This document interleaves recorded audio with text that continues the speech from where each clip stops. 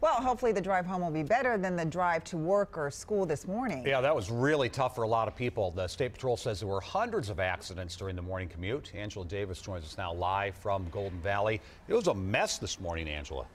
Yeah, it sure was. And now look, it's snowing again, just in time for the evening commute. Yeah, lots of people this morning say they saw their commute time double, and even people who took the bus, they were delayed. Metro Transit says at one point this morning, 76% of their buses were running on average 31 minutes late.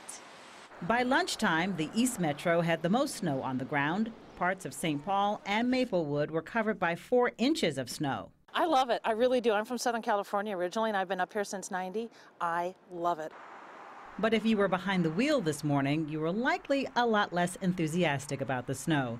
Images of the morning commute captured by MnDOT cameras show a slow and stressful drive filled with crashes and spinouts. There's going to be people who are going to say, This is beautiful, but I'm not one of those people.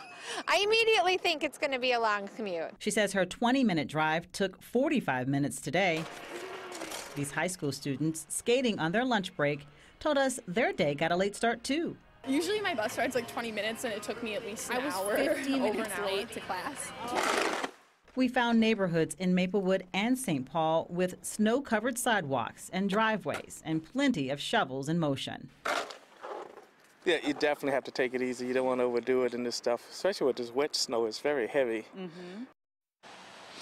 Well, right now, we're giving you a live look at 394 here in Golden Valley. You can see the light snow that's coming down. The roadway appears to be wet, but look at the speed of those cars and trucks. Looks to me almost normal. We do know that as that snow continues to fall, the road conditions are going to deteriorate this evening. Frank and Amelia. All right, thanks for keeping an eye on things. Maybe some folks left early. We'll, of course, uh, continue to monitor the conditions, and we'll have a live look at Metro roads for you coming up a little bit later on, because as you can see, some places are not moving as well as they are in Golden Valley. A couple snow emergencies to let you know about. They include Bloomington, Crystal, St. Louis Park, and West St. Paul as of right now.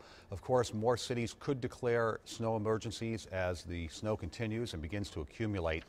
Minneapolis and St. Paul have not declared a snow emergency yet today. However, you should uh, look at 10 o'clock on our news for an update and, of course, tomorrow morning as well.